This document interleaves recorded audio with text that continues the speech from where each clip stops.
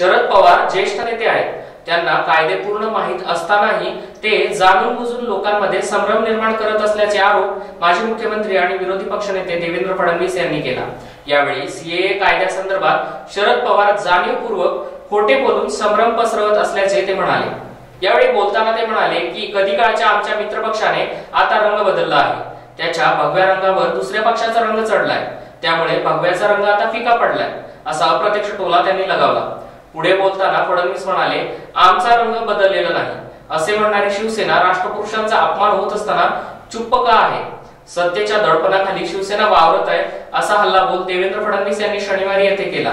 महाराष्ट्रातील सरकार कोण चालवत आहे हे समजत नाही असे ते म्हणाले. दरम्यान महाराष्ट्रातील सरकार कोण चालवत आहे हे समजत नाही. मुख्यमंत्र्यांचा रिमोट दुसऱ्यांच्या हातात आहे. रिमोटच्या बॅटऱ्या दिल्लीत आहेत. मुख्यमंत्री एक बोलतात सिल्वर ओक दुसरे बोलतात. दिल्लीतून तिसरेच बोलले जाते. अशी अवस्था आहे. अशी टीकाही त्यांनी यावेळी केली. ब्युरो रिपोर्ट झोमो न्यूज नागपूर.